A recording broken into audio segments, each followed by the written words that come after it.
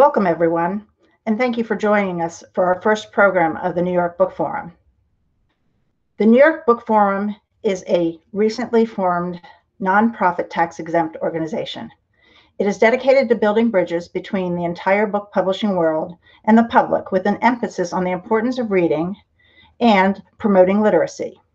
My name is Janet McCarthy Grimm, and I am the current president of the New York Book Forum. According to an article in the Library Journal from April 2020, the National Center for Educational Statistics notes that 21% of adults in the United States fall into either the illiterate category or the functionally illiterate category. The article goes on to say that in the elementary high school space, nearly two thirds of fourth graders are reading below grade level. And by the time they graduate from high school, those percentages have not changed. This second statistic is the space where tonight's president, speaker, Kyle Zimmer, CEO and co founder of First Book, operates. As you will hear, First Book is built upon the premise of providing equal access to a quality education to children from the ages of 0 to 18 growing up in low income families across the United States. Not surprisingly, First Book actually provides far more than just books. I would like to invite you to watch this brief video clip that the First Book organization shared with us to open our program this evening. It illustrates exactly why their work is so crucial. Let's have a look.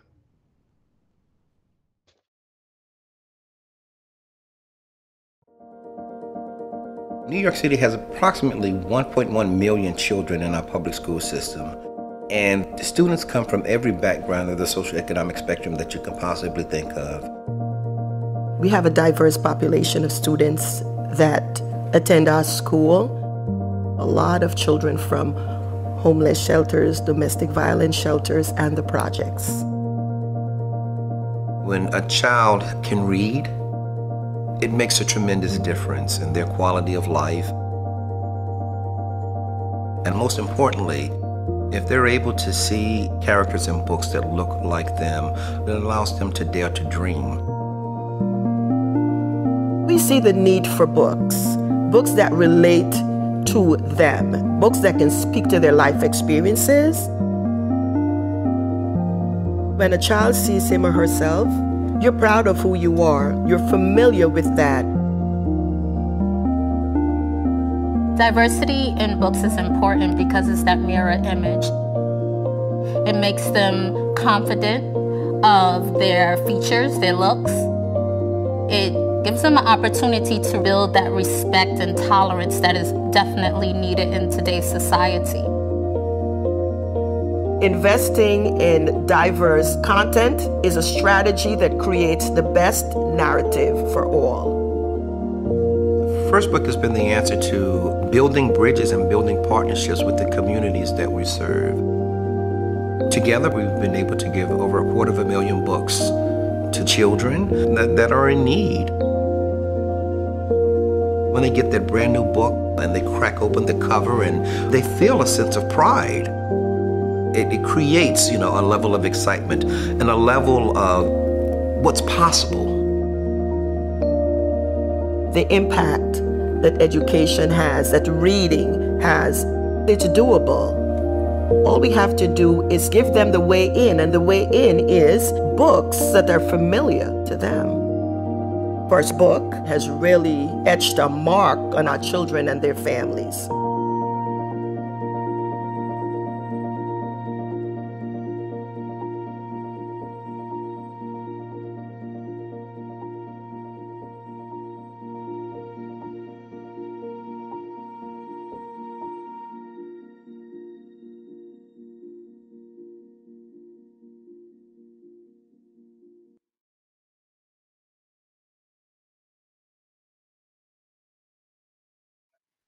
Kyle, I'd like to welcome you tonight and thank you so much for agreeing to join us.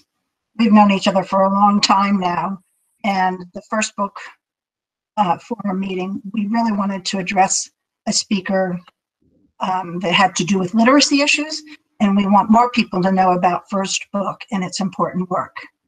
You co founded First Book nearly 30 years ago. Why did you start it?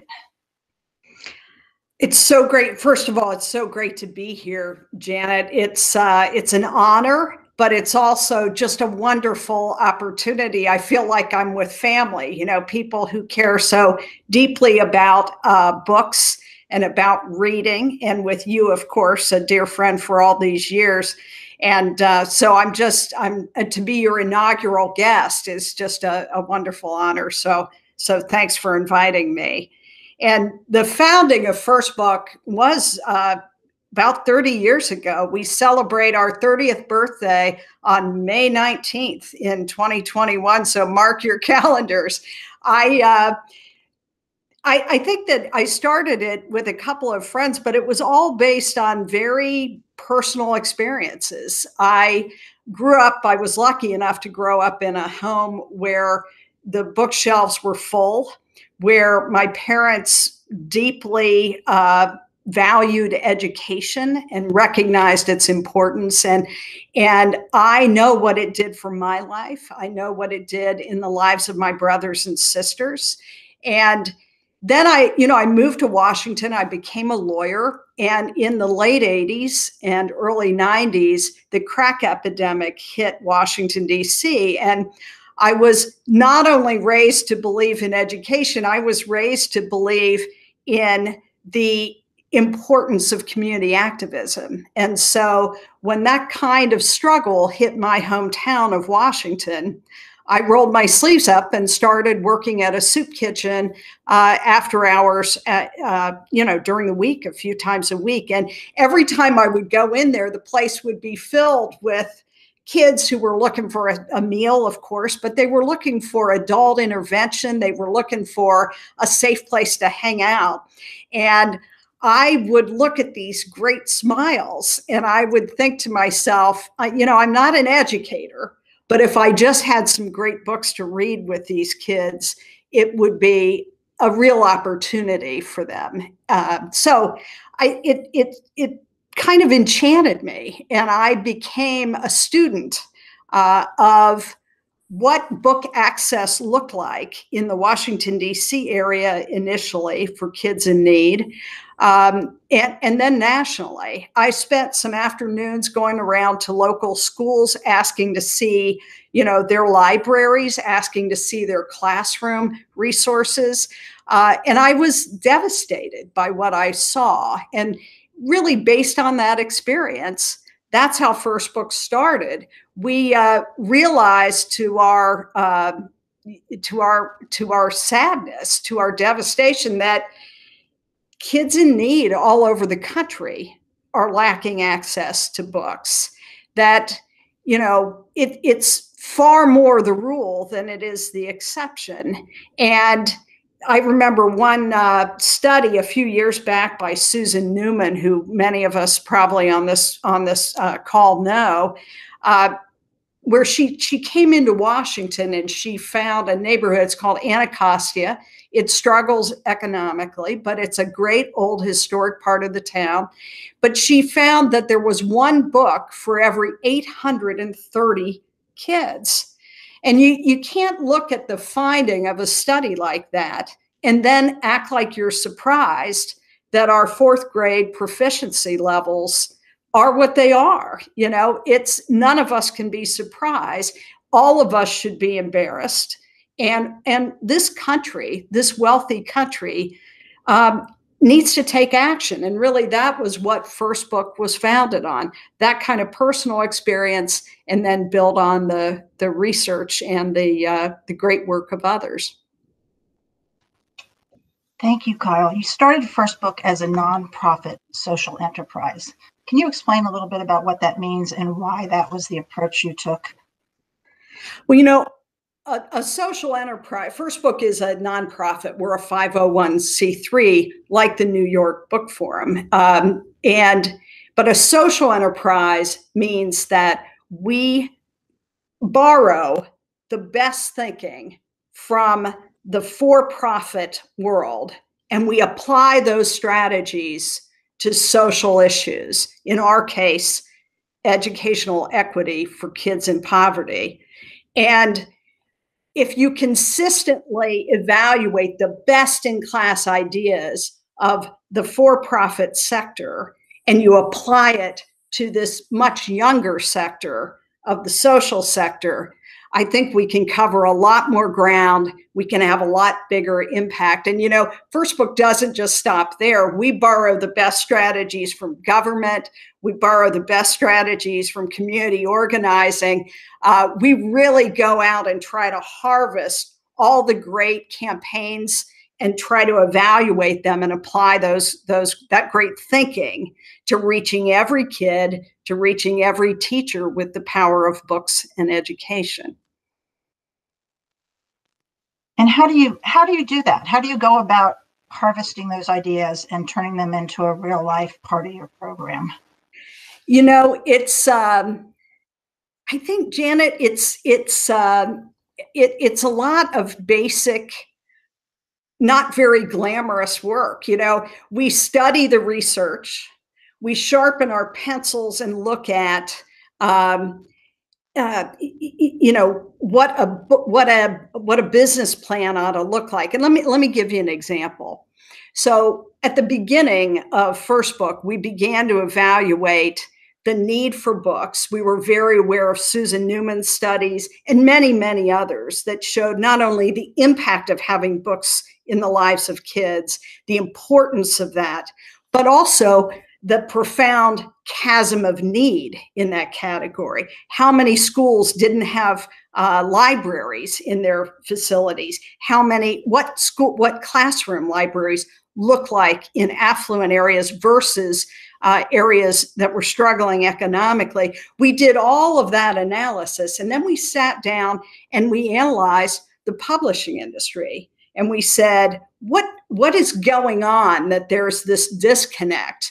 The US produces the most beautiful books for kids in the world. Uh, they're jaw-droppingly beautiful.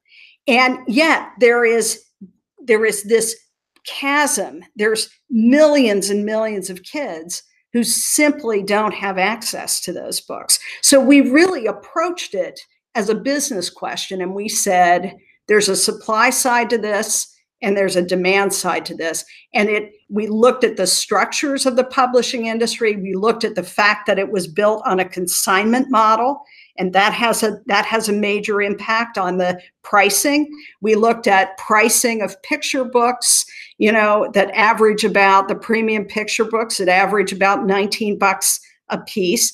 And you realize that the heart of the american publishing industry for those premium books that are that no kid should ever grow up without is really in the upper 5 and 10 percent of the US socioeconomic ladder. And so we really began the business analysis of how do you connect the business model of the publishing industry with what could be a very large new market for them. And we built the First Book Marketplace. And the First Book Marketplace is uh, a, a, an e commerce site where we went to the publishers and we asked for their excess inventory that they had available for contribution. We combined that a few years later with strategies to purchase inventory from the publishers on behalf of this uh, this uh, a group of educators serving kids in need, and um, and combining business strategies, we really have built what in essence is a closed market that is focused only on educators serving kids most in need in schools, in after schools, in preschools, and I can describe the community to you. I'm happy to do that. But we really approached our designs using business strategy. How do we use the brilliant work of the publishers? How do we get it to this new market? Could you expand a little bit on who the educators are and how do you find them? And once you find them, how does that actually increase access to books to these children? Sure. I, at the heart of First Book is uh, the First Book Network. This is our online community. And our community is literally anyone serving, any adult serving in the lives of kids in need. And so it can be uh, a title, a teacher in a Title One school. It can be an after school person who's working in a community program, healthcare settings, librarians, uh, homeless shelters domestic violence centers. I, it, almost, if you can imagine it, and they're serving at a minimum 70% children from low income families, they are welcome to register with First Book online. It takes about five to seven minutes. They give us their bona fides and um, and they're welcome into the community. There's no cost to registration. There's no obligation when you register. We want everybody in that tent, in that community. And the importance of that is really significant. You know, we look at labor unions in this country and we recognize how powerful they are. Political parties, we recognize how powerful they are because what those kinds of institutions have done is they have aggregated very broad, very large groups of people under a few tenets that those groups of people hold in common.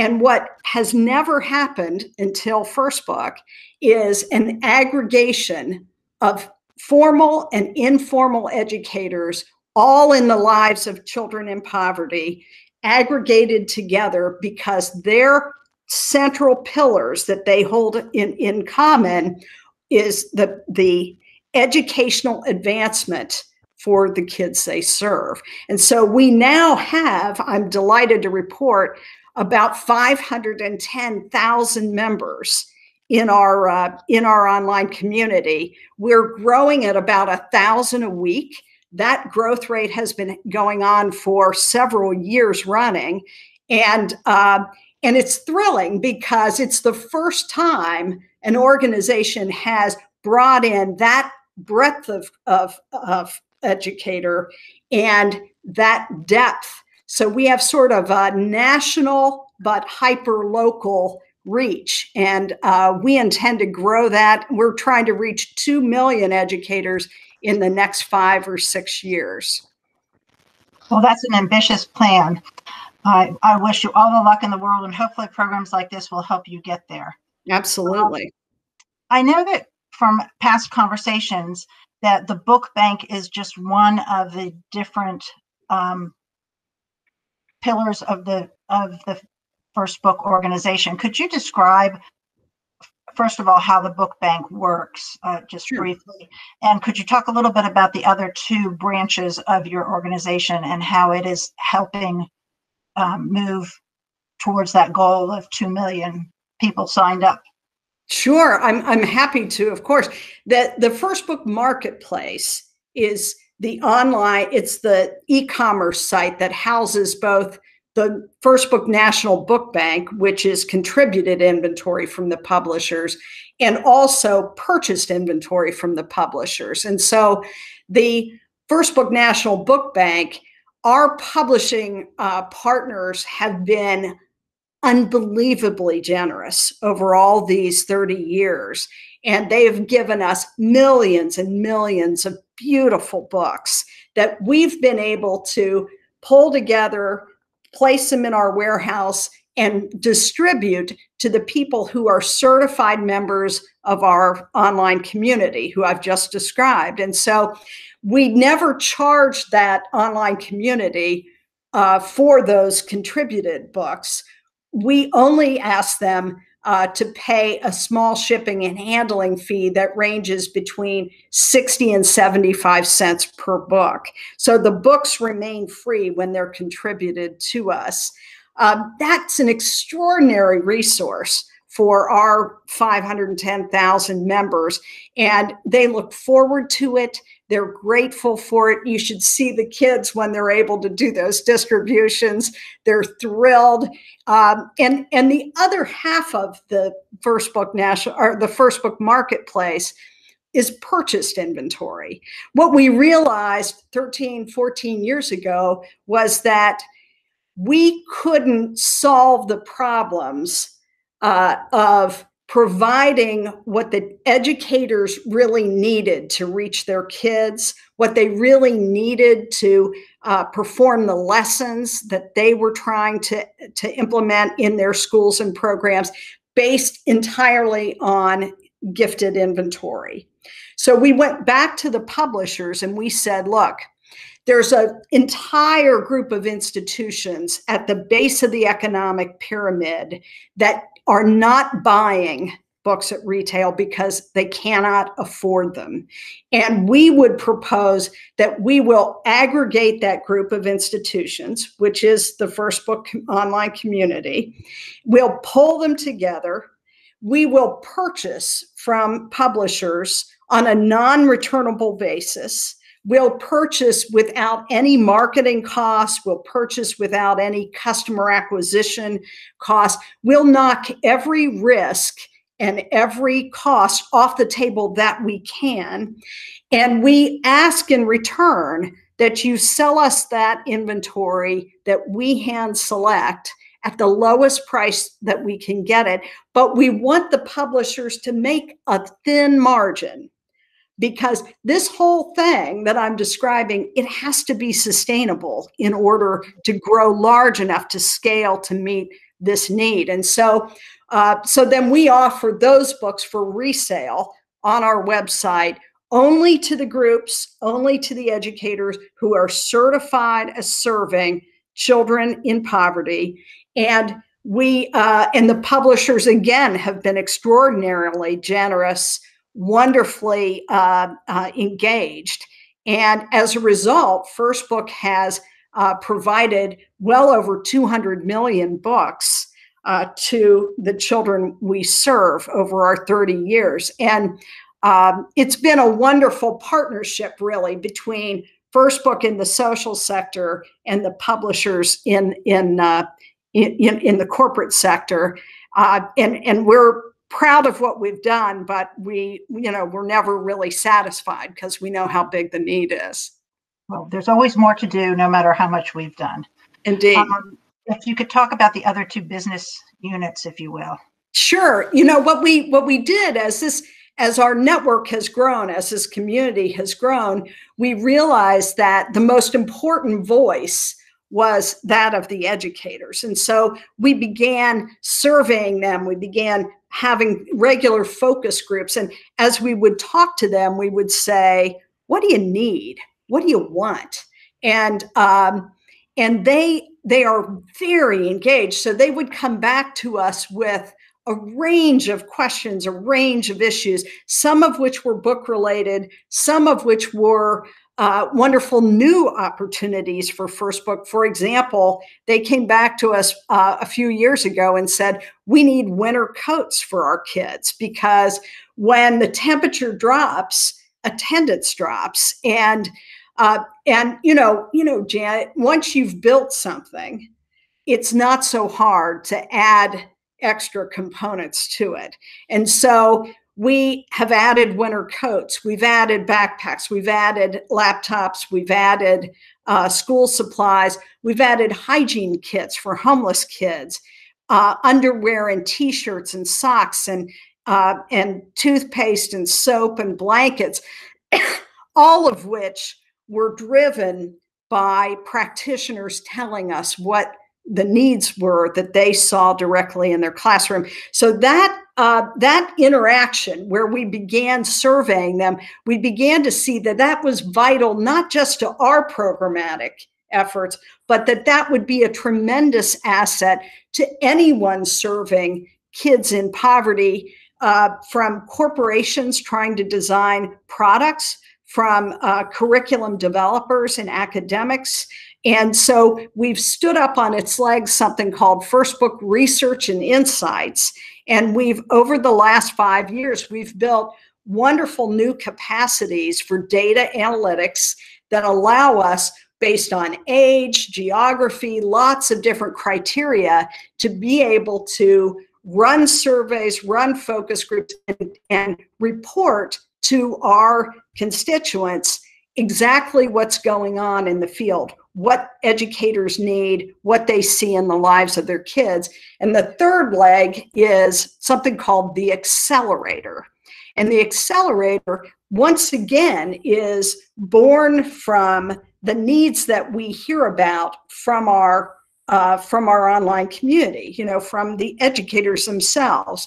They will say to us that you know they feel as though they are not fully prepared for some of the challenges that can that that they're facing. You know they will say we don't know the latest research on child development. We don't know the latest research on how to teach reading. We would like to most recently about 18 months ago 65% of our uh, respondents said we would love to talk about race and culture in our classroom or program but the truth is we're afraid of it. We're afraid we'll misspeak. We're afraid we'll be misunderstood.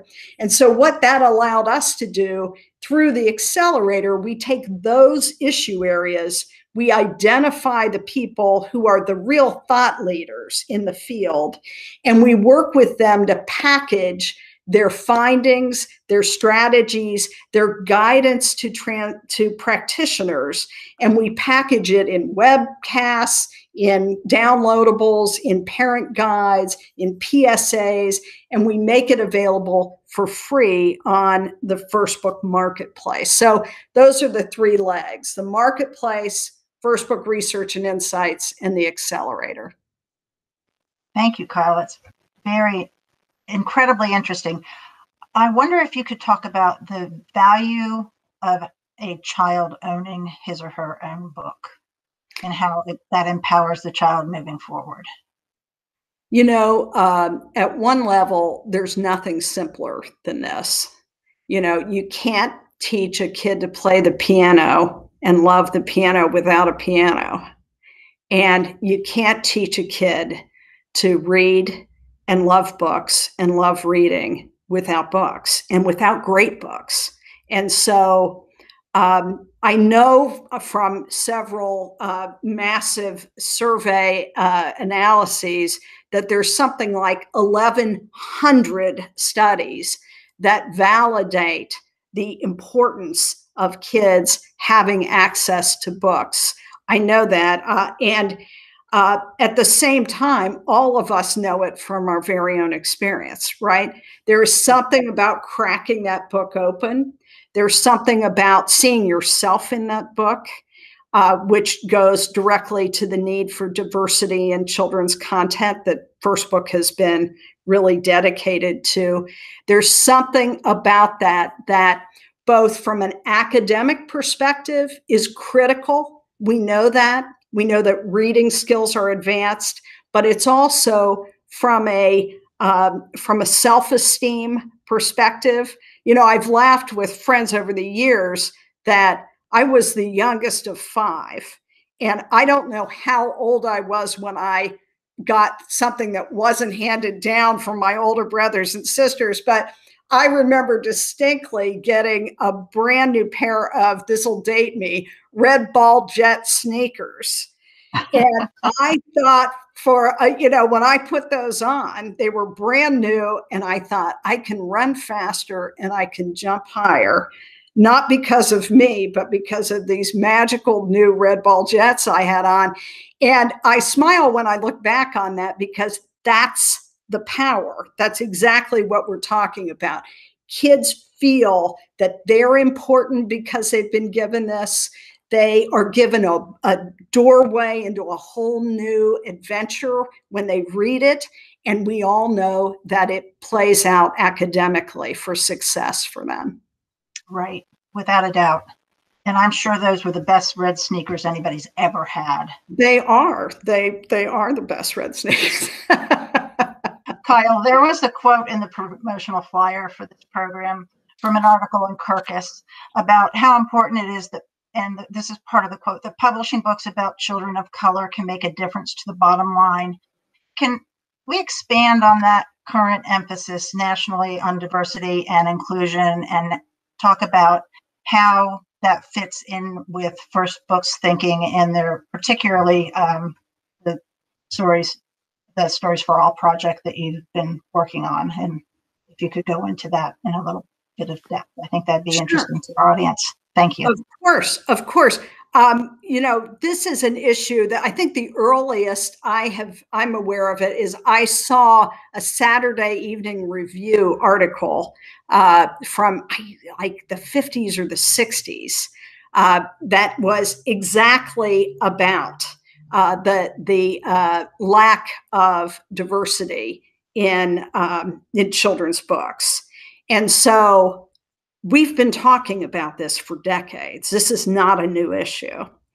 First Book has been working on this consistently for 30 years. We formally launched uh, an initiative called Stories for All, as you as you noted, in 2013.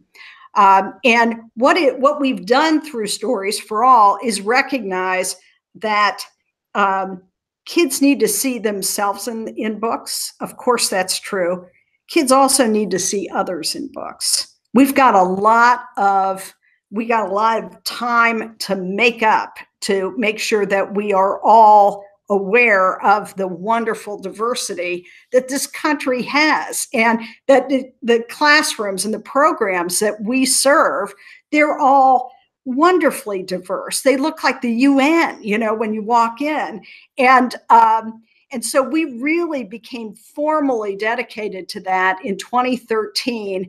And Stories for All is uh, sort of the banner program underneath which we've tried a multiple different strategies. One was we uh, have we've made large scale purchases of highly diverse titles uh, from the publishers and offered them very very intentionally up up, you know, increasing the percentage of diverse content books on our first book marketplace.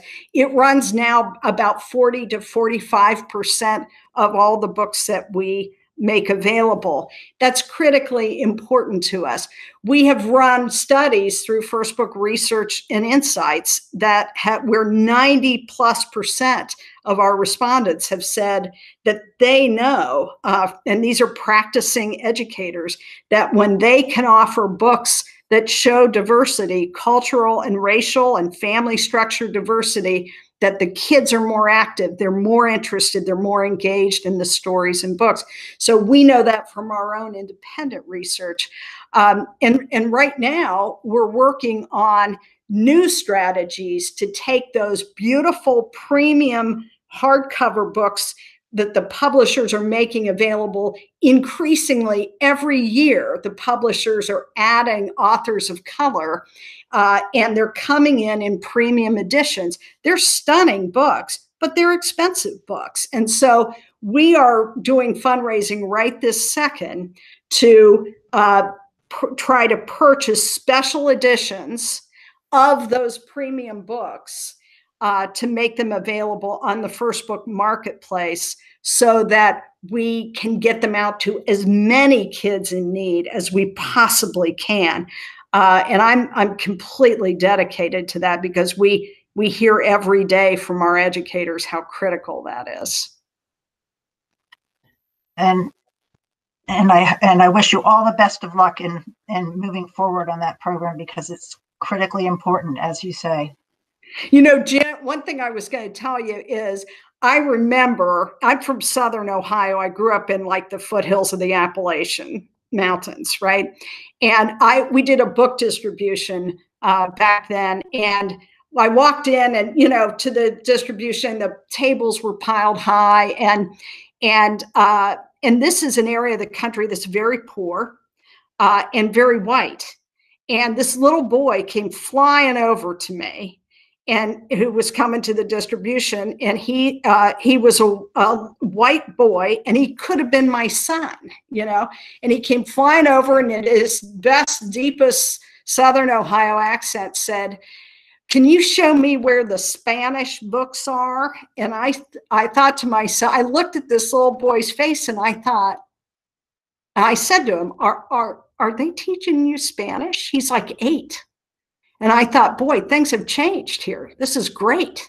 And he said, no, but I know that this is my big chance and I want a Spanish book. And I, I have that little boy in the back of my head because you know we i don't want us to fall into the trap of thinking that diverse content is just for kids who oh, are from racial and cultural backgrounds right because that little boy knew that there was a big world out there and he was going to fit into it and he wanted to learn. And so I just, I always love that kid and I carry him around in my head and in my heart because it's a reminder that these diverse titles are essential for every kid growing up. Absolutely. And did you have one? Did you find him his Spanish I did. book? I did. Of course, I was so in love with his question that I would have sat down and handwritten him one if I had to. But I'm delighted to say that we actually had wonderful Spanish books that we we could provide. But it's really thrilling to see that that firepower, and we see it all the time with our kids. They're so hungry for it, you know that calls into question how good is your Spanish and could you sit down and write a book in Spanish? No, I could not. No, I could not. um, let's talk for a minute about this unusual year that we've just come through and um, given the educational needs and the disparities between the socioeconomic classes and with the COVID pandemic um, and the educational equity issues that you're always looking to address what's ahead for First Book and how did you process all of this during the pandemic year or it's more than a year now? Um, and what are your goals for the coming years partially as a result of what we've just experienced? Well you know i think that um, we we've of course we've always been focused on kids in need but i think that all of us became uh, more aware of the dramatic needs during this, you know, with business closures, with uh, unemployment uh, climbing, and with schools struggling mightily to reach kids with and, and recognizing technology, the failures of technology. Devices were not, of course, even remotely uniformly available. And even once you had devices, connectivity is uh, is a gigantic issue that we have to confront as a country. And um, these are not luxuries. These are not luxuries. Computers, connectivity, uh, this is as basic as access to a telephone was generations ago, and um, and I think that I, I will tell you a, a, couple of things that happened with First Book during this period. Um, one is once the teachers gained their footing, and they gained their footing very quickly within a couple of weeks of schools you know we all watched the news and watched schools closing in state after state.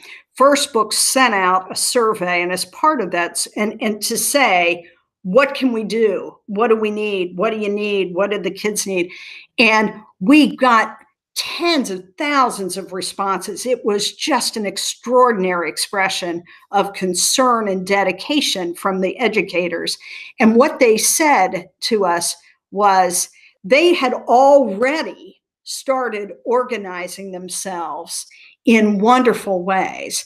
We had 8,000 educators in the first like three or four weeks step up and say that they would be mini distribution hubs. Some of them were aligned with school food distributions. Some of them were doing it out of their garages. You know, they were so worried about what was going to happen to those kids uh, in their classes. Uh, and, and so we saw just this extraordinary creativity and dedication.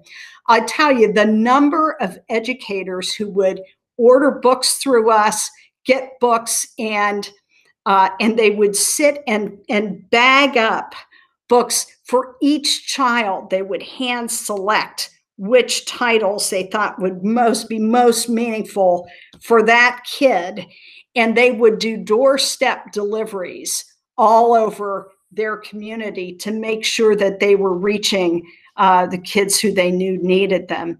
um, and, and it was just it was very moving and and it it it you know it it was really a, a wartime effort uh, and and herculean and uh, and the educators will you know like I, I can hardly find the words to say how brave and strong they were during all of that. But the other group of people who stepped up were the publishers. I, I am telling you, I got on the phone with all of the publishers who we've worked with, and I said, we need you like we've never needed you because the educators uh, they were handing out books from their schools because at that point they didn't know whether you could you, you could get covid from holding you know a book or anything so they were just handing out the books from their classrooms and giving everything they had and the publishers stepped up. We had 8 million books contributed in a very short amount of time. And the and so it was sort of uh, the perfect situation because we had you know the the educators waiting with open arms and we had the publishers with their uh, with their always generous response uh, ready to give and give more. And uh, I, I, really can't say enough about that. It, it was amazing. We also had uh, uh, companies like Intel come to us to use our platform, our capacities to distribute 17,000 computers in 45 school districts uh, so that they could elevate uh, in you know in their lane resource educational resources that they knew kids were struggling uh, for. So we worked with them, and we're still working with them on wonderful connectivity uh, efforts that we've undertaken. So that's uh, uh it, it's both a, a, tough tale, but it's a tale of heroes, you know, and and uh, one that we we should all celebrate. I think that uh, that the publishing industry stepped up like the heroes they've always been, and uh, and gave deeply to kids who were desperate. And you just explained to many of the people in our audience why all of a sudden they had such a surge in reprint activity during the pandemic period. Thank you, Kyle, for that. And there are probably a few of them that are sitting there shaking their heads in just utter amazement because they had no idea that's where the 8 million books were going. Well, it, um, it, I mean, it it was uh, it was deeply necessary, and man, people rose to the rose to the cause. You know, Janet, you ask uh, also where we're headed, and I want to make sure I I spend at least a moment to talk about that. Um, we've got great ambitions at First Book, and we have no intention of slowing down. And so, First Book has launched. Um, uh, we've announced just this last uh, month a $15 million fund that we are raising uh, that will that is uh, that is designed to be 7 million in patient capital alone and 8 million in grant that will allow us over the next 5 and 6 years to quadruple in size our network of educators from our current 500,000 to 2 million. We know they're out there. We know how to find them. We know how to sign them up.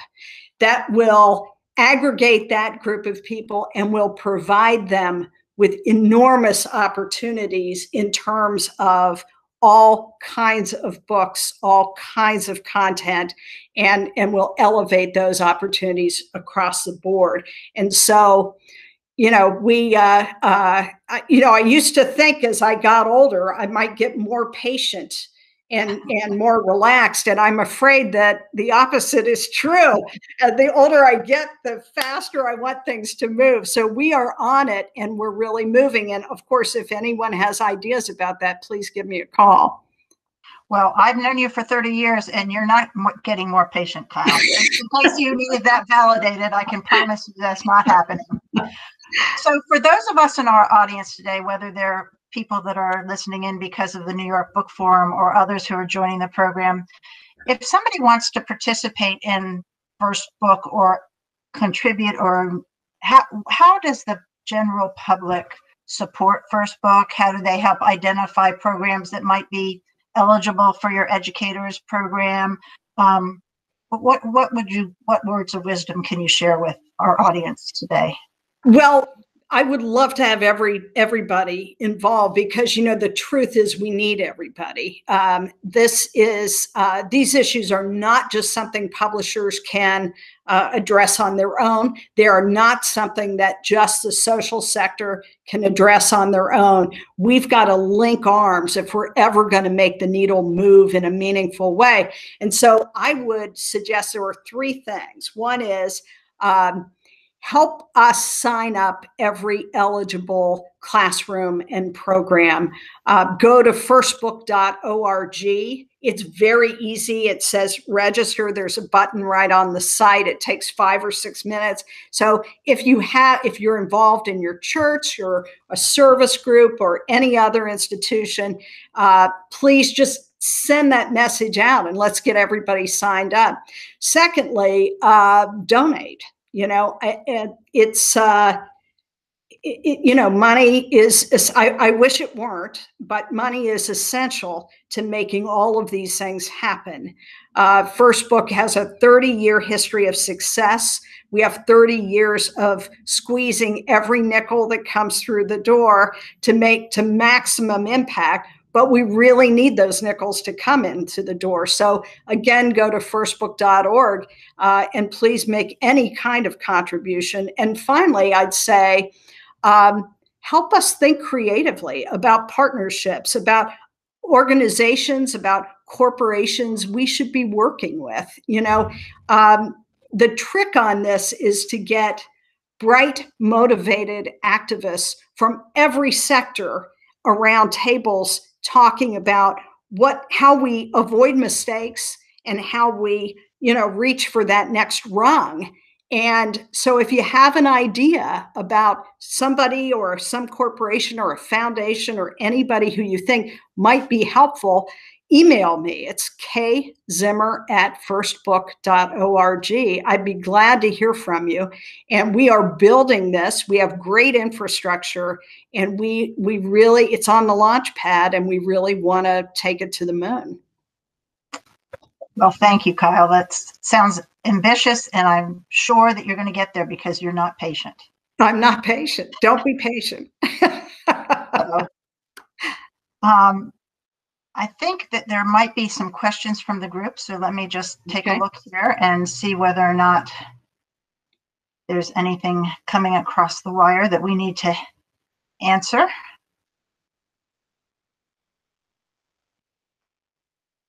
Um, the first question is, could you describe a little more about the resources in your online um, book bank bookstore, if you will.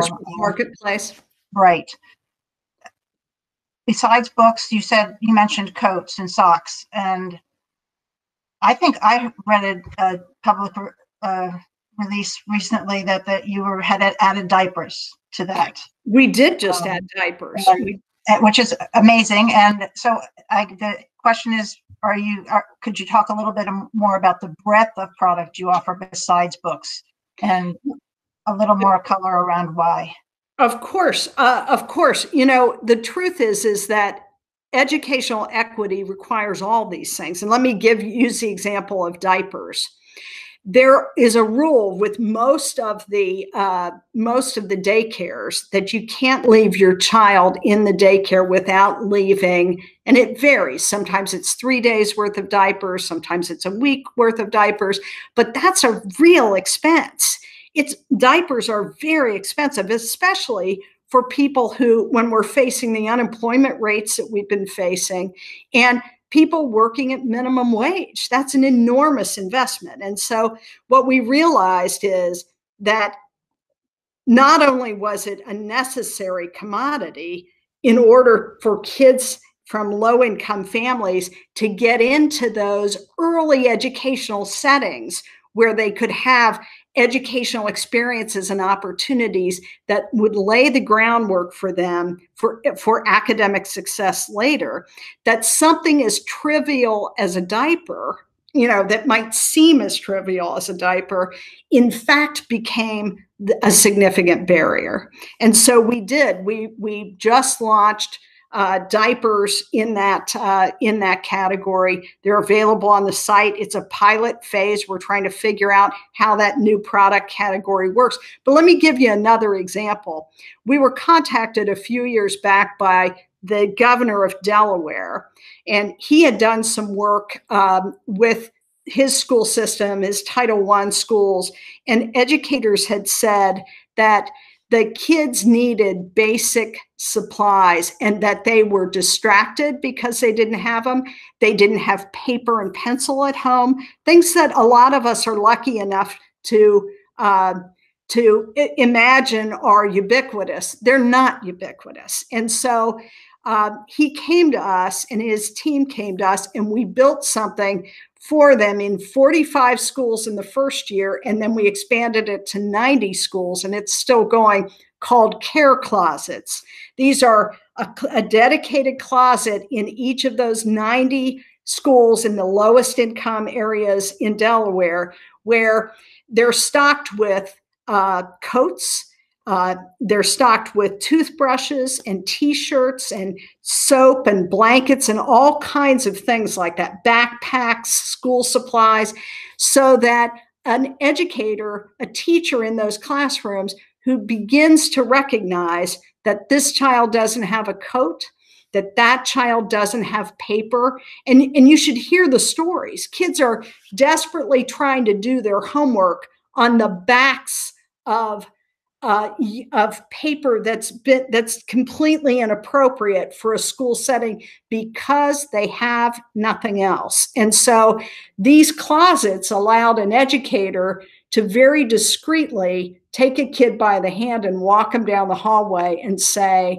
you know what, you get what you need because these are barriers to equitable education and they're intolerable and in a nation this wealthy they should never exist. And so we just like we do with books which is heart and soul of our lives and our programs so we bring the same effort the same uh, magnitude to bear for these other commodities because we recognize how critical they are.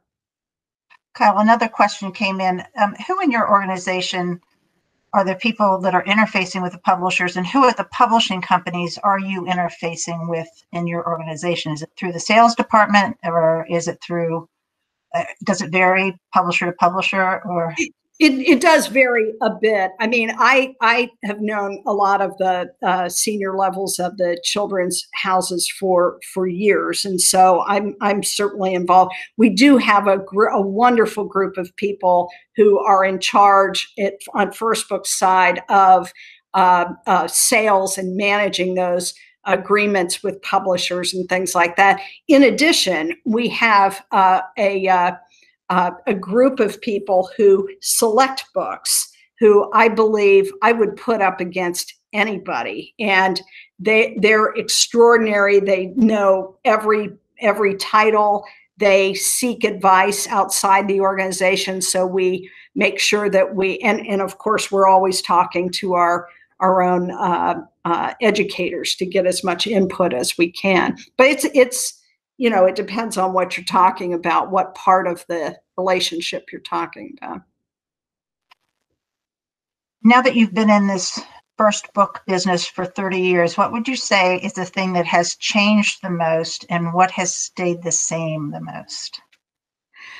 That's such a great question. Let's see. What has, what has changed the most? Well, I think uh, the book industry over the past 30 years um, you know like all of us everyone everyone watching is going to know that it's it's profoundly different. Um, i think that um, what hasn't changed is the quality of the people in this industry. Um, you know i was a lawyer for a number of years prior and i can say with some degree of certainty that that's not true in every industry. It's just not. And there is a dedication to quality. There is uh, the number of times I've interacted with people in publishing where they're literally thrilled by a book that they've been able to bring to market. uh, by the quality of the illustration, by the quality of the print, you know, and they, the, and it shows, it comes, you know, right across the table from you when you're speaking with them. That's not every industry. That's an extraordinary thing.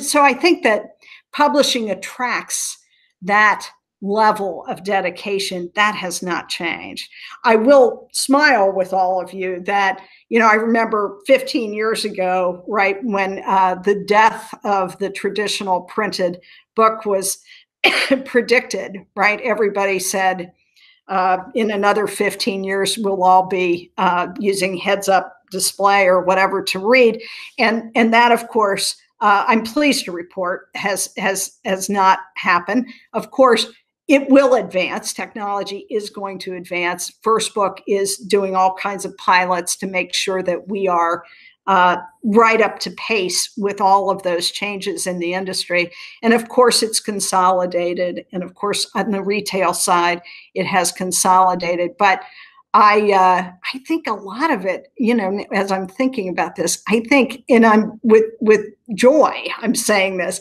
has not changed. You know, that core dedication to quality has not changed, and uh, you know, so I I I I love this industry. I've got to say, I I feel uh, I feel like the luckiest person in the world that I get to work with people like that.